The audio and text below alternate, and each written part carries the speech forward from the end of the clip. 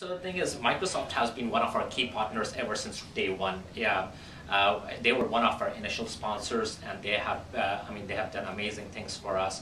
And BA have been a very, very key partner in uh, the story that is Mass Challenge uh, uh, right now, and they have definitely been a big part of our success. So we were thinking about going to uh, South by Southwest, and Bing and Microsoft in particular have been very helpful in getting the local Microsoft office involved, but also the Bing team from Seattle involved. And uh, so we started conversations with that, and we are always thinking about creative ways of how uh, big corporation like Microsoft can work with startups, because startups have their own strength, Microsoft and Bing have their own strengths, and how can you work together? And so basically, the startup showcase came about with uh, us throwing about uh, different ideas, and they were going to do something uh, interesting as well. Uh, so they said, why don't you rent a, uh, I mean, why don't you use our space for that afternoon mm-hmm. and showcase some of the teams uh, that you have, as well as the great work that Mass Challenge is doing. And I think it worked out both ways. As firstly, uh, people realize that Bing or Microsoft is not just about big corporations, right? They right. really care about uh, small startups, and there are great effective ways that they can add value to the uh, to uh, to the their different startups.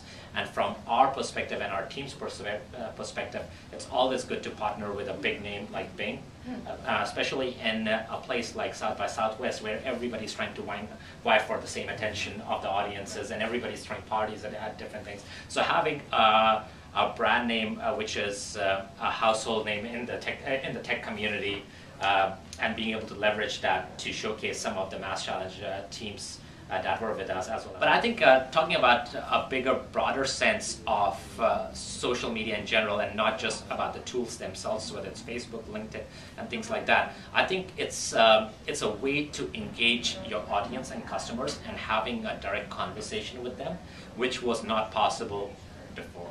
All right, and I think uh, they're also getting to be um, uh, customer uh, uh, customer service tools. Like whenever somebody has a problem with a company, they just uh, shout it out on Twitter, right? And it's it will be interesting to see how the space evolves in in four to five years. But what I would say is, if you are looking at if the whole array of social media tools tools available to any company, I think first of all it's a necessity to be out there. For any company. But also uh, also the second thing is really think about what you want to get out of this tool, what kind of audience you want to engage, and what kind of messaging that you want to uh, uh, you want to create through each one of these tools. One of our key partners, Hallmark, uh, kind of sim simplifies it. Is the question is what is your one simple thing? Mm right? So what does your brand stand for? What does Mass Challenge stand for? What does uh, any, any one company stand for, right? Because you have to occupy that position in the consumer's mind. And if you don't do it, the market will do it for you. Because they will start associating it with X, Y, Z. So it's better for you to take control of your own messaging and brand and forget about the 15 different features, 15 different benefits. In the market, what do you want to be known for, right? So for example, at Mass Challenge, we want to be known for the place where entrepreneurs come to build great companies, right? Uh, uh, and we can talk about, uh, I mean, we can also talk about all the events that we throw, mentorship, etc., etc., etc. But that just muddies the water in terms of messaging, right? right?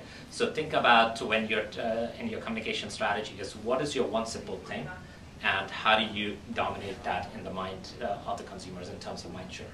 Interesting. Well, very sound advice. Um, well, congratulations on your well, success. thank you very much. Looking forward to seeing more uh, from Mass Challenge in the future.